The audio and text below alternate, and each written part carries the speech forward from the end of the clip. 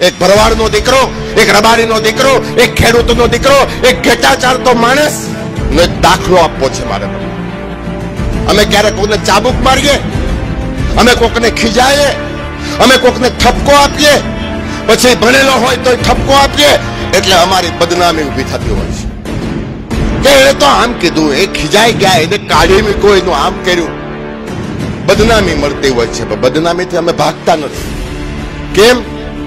એટલા માટે દાખલો આપવો છે. અત્યારે તો રોડ બહુ પોળા થઈ ગયા.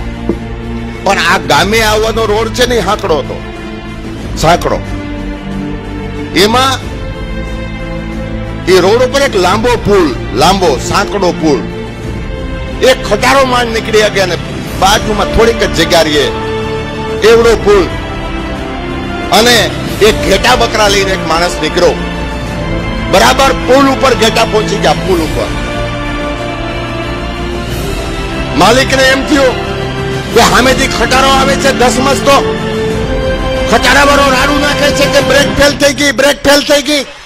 તારા ઘેટા બકરાને હટાવી લે. માલિકને એમ થયું કે લાકડી લઈને જાઉં તો પણ ત્યાં પહોંચી નહીં શકું. મારા ઘેટા મરી જશે, મારી આજીવિકા મરી જશે.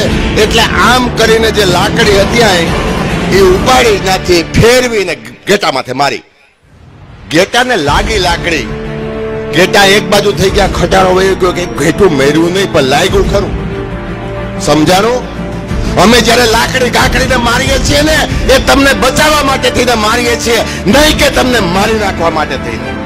હું મારા વિદ્યાર્થીને, હું મારી સંસ્થાના સંચાલકને, હું સમાજની સંસ્થાના શિક્ષકને કે પ્રોફેસરને કે ક્યારેક કોઈક સાધુ સંત સાથે પણ વિવાદ કરું છું, એની પાછળ છે સમાજને એક દોરવણી આપવાનું, એક સમજણ આપવાનું કામ. મારે પૂછવું છે તમને કે તમારી પાસે દસ ગાડી બની જાય, દસ બંગલા બની જાય, દસ સંસ્થા બની જાય, હજાર વિદ્યાર્થી બની જાય.